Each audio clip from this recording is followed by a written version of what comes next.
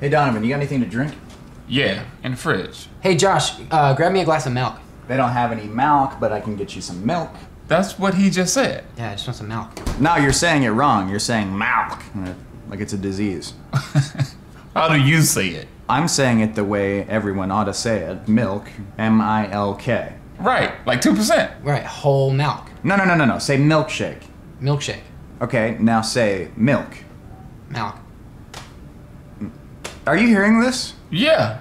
The man wants a glass of milk.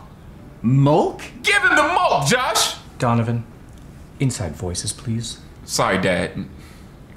My white friends. Josh! Pour me a glass of milk! Why are you yelling at me? Just give him the freaking milk! You guys aren't even saying the same thing. We're all saying milk, Josh! No, you're saying milk. You're saying Shut